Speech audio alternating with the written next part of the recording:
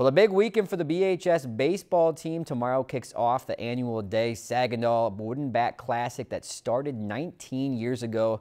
Three teams total this part-time or part this time around. Of course, Bemidji, Roseau, and Duluth East.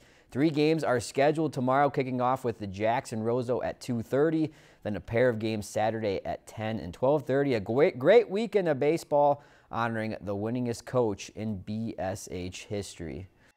The tournament was started to honor him quite a while ago, 19 years ago, and um, you know it's a wood bat tournament, which makes it special. We draw real nice, real nice teams to the tournament. It's become a pretty prestigious tournament. It's a fun weekend. It's at the end of the year, so uh, hopefully everybody's playing their best ball, tuning up for the playoffs.